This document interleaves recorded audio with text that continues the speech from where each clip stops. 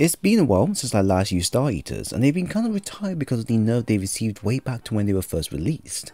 They were absolutely busted on day one, but they made Hunter Super builds that focus on damage alone extremely useful in certain damage phases.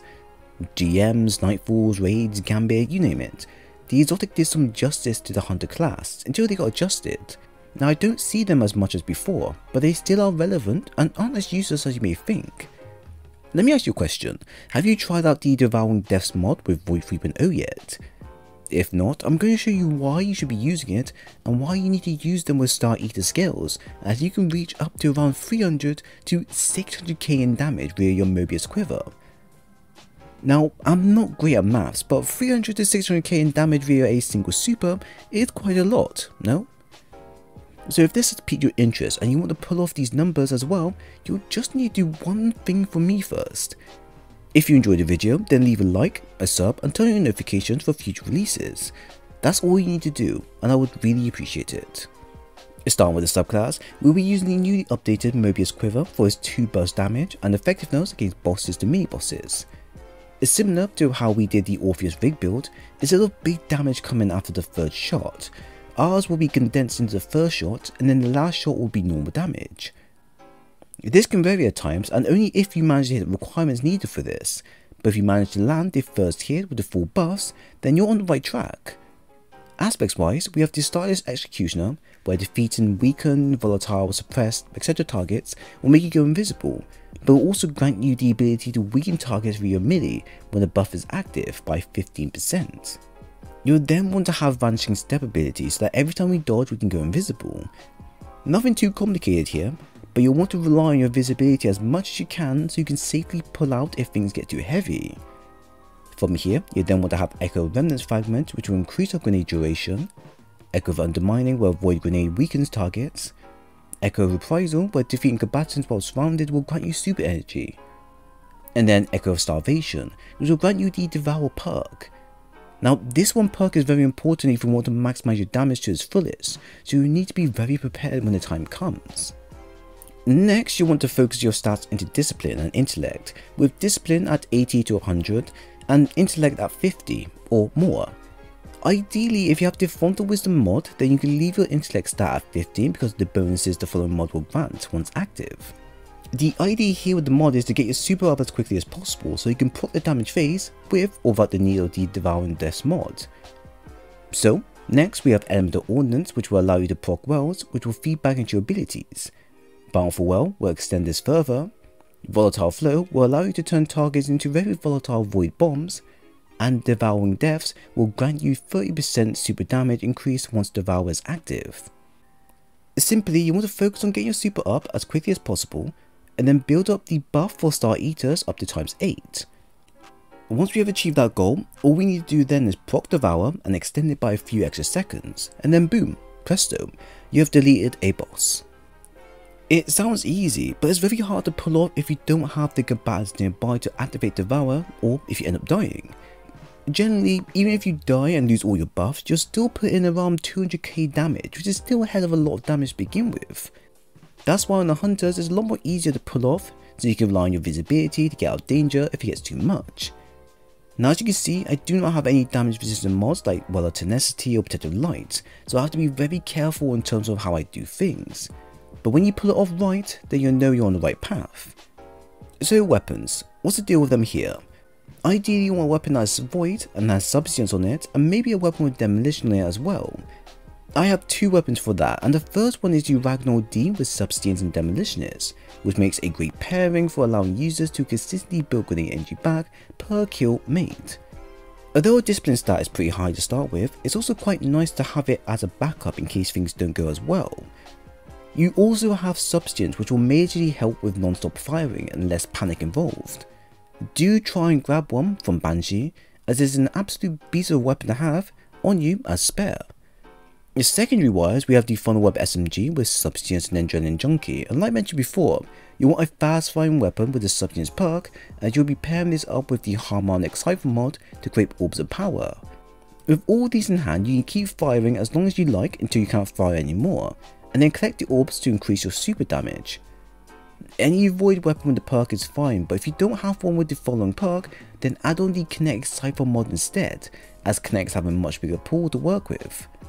Great, the new AR or Huckleberry Exotic are two weapons I can see working out really well for the following build if you can't get a funnel web with the following perk.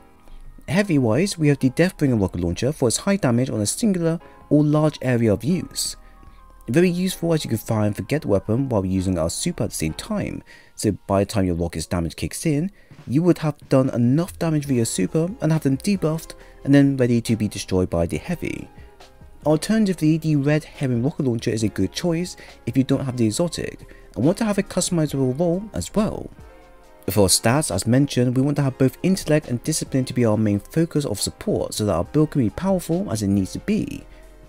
Having a high discipline stat will allow us to proc wells, debuff, and increase how fast we can get our super up and running, and you may want to adjust this depending on your situation.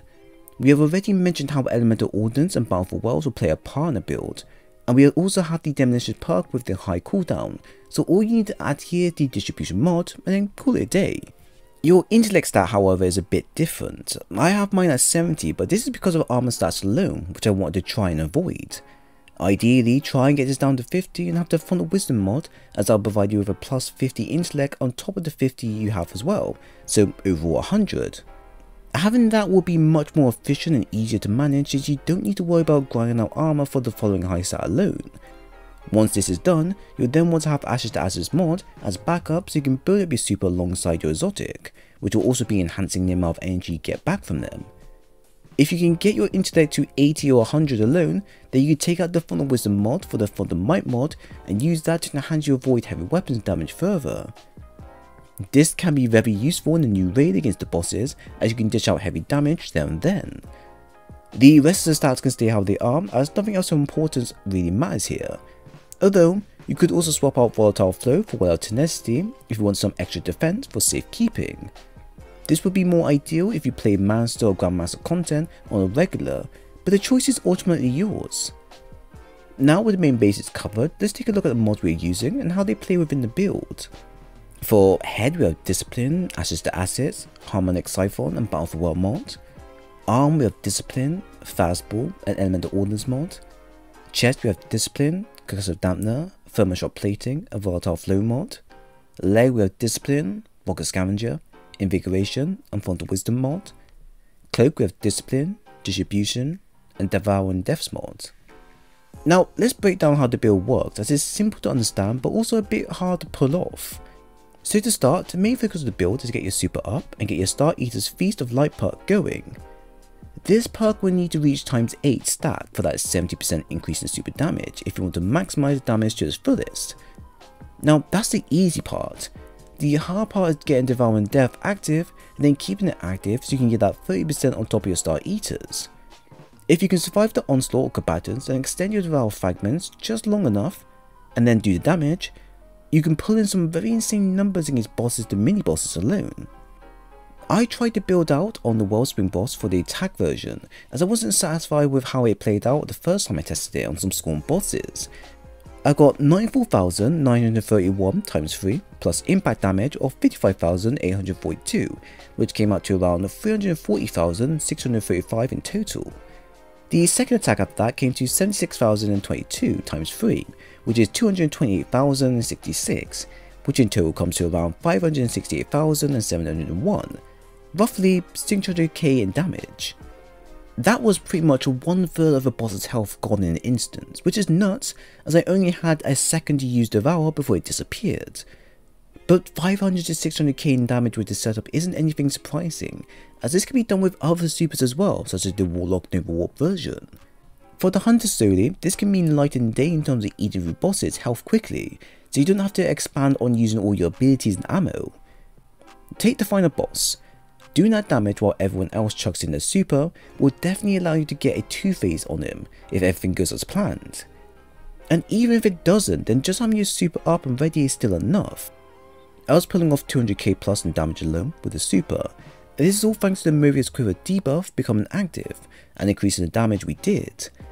I've done around 100k in the first volley of a super against the Scorn mini bosses on Preservation mission, and it nearly one-shot them after full super was used, but I was just a bit off with using it. Either way, the build hits like a truck and the fact that we can do so much damage within just one hit is fascinating to do. The only issue though with the build is pulling this off successfully, since not all boss rooms will allow you to build up all the power and devour at the same time. You also got to remember that the moment you die you lose everything and you have to start again, which is a very steep cost considering that 8 stacks is a lot to work with. You have to really make sure everything is in line before trying to attack, as one mistake will cost everything. But don't worry, with how the build is designed, you can rest assured that this will come through to you, and as long as you play it safe and don't rush, you too can delete bosses within a single super.